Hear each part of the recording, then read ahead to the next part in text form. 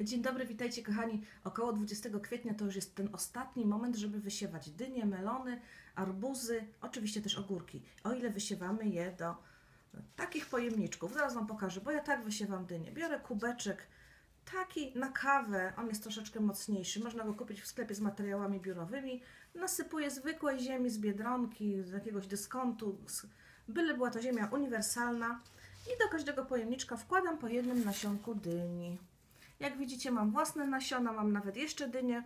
Zwróćcie uwagę, miałam w domu y, przez całą zimę tą dynię i ona chyba jeszcze postoi. Będę ją trzymała tak długo, ile tylko, będzie, ile tylko będę mogła, bo jestem ciekawa, jak długo wytrzyma. W piwnicy nie wytrzymały, zgniły, a trzymana w pokoju, dokładnie w salonie, przetrwała całą zimę i pewnie jeszcze potrwa.